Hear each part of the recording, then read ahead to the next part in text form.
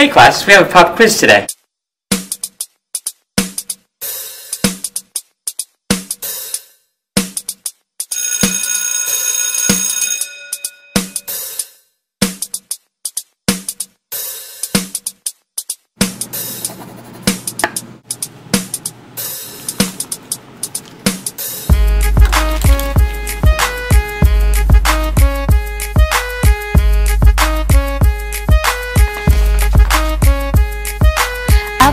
Using PARTING C. Gotta find out more about this series.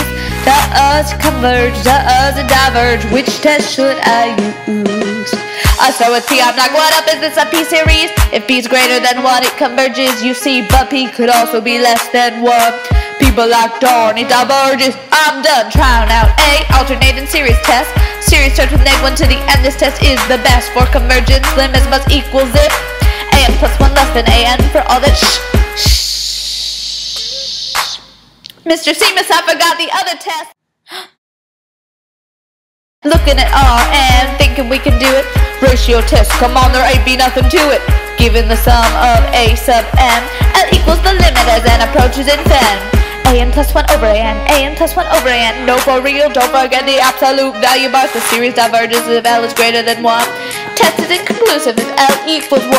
Now we're on the t-test. I'm gonna try the t-test. Telescoping series if denominator's factorable. Complete a partial fraction to determine the sum. Expand the sum and then maybe you will be done. PARTING C is so cool, it is the best. Now we're halfway there, you'll ace the test. I'm using PARTING C. Gotta find out more about this series. Does it converge? Does it diverge? Which test should I use?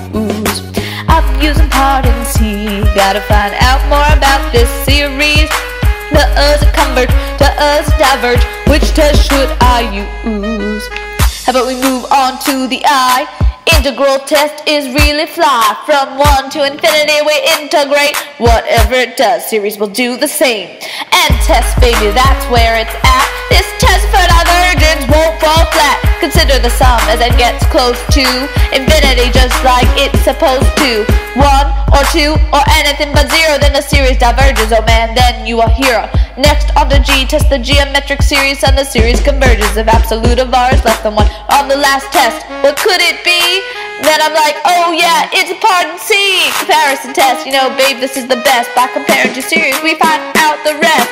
BN converges when AN converges. AN diverges when BN diverges. Now we're all through and we learned so much it's true. You know what I'll call Mr. Semus taught you. He taught you. That's so true.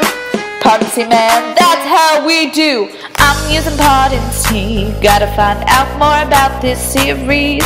Does it converge? Does it diverge? Which test should I use?